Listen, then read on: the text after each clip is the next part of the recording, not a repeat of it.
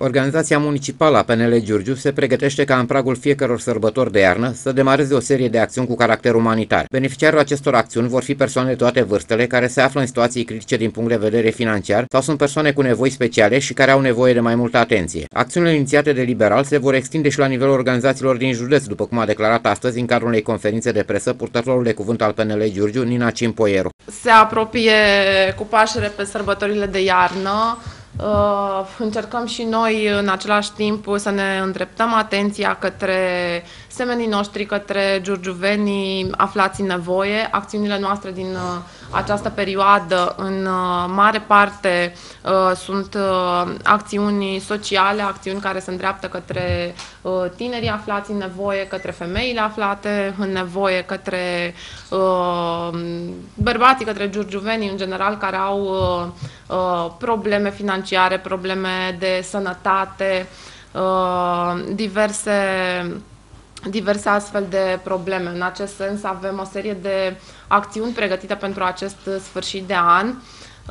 După cum și dumneavoastră știți și vreau să să vă mulțumesc tuturor partenerilor uh, media. Este vorba despre Valahia TV, Muntenia TV, uh, Giurgiu Veanul, Kiss FM, Radio Giurgiu și Știri Giurgiu pentru implicarea și pentru faptul că ați răspuns solicitării noastre în acțiunea noastră Dăruiește Fii Moș Crăciun pentru o zi. Este vorba de o acțiune a tineretului uh, liberal din Giurgiu, ce constă în strângerea de jucării, hăinuțe, alimente neperisabile, Uh, donații de orice altfel rechizite, uh, ghiozdane, orice lucruri care giurgiuvenilor nu le mai folosesc și pe care ei vor să le, să le doneze uh, copiilor din mediul rural, copiilor defavorizați.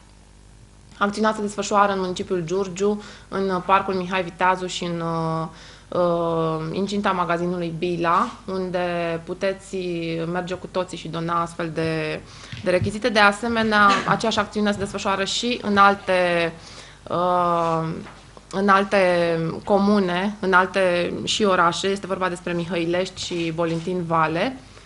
Uh, va ține această campanie până pe 17 decembrie.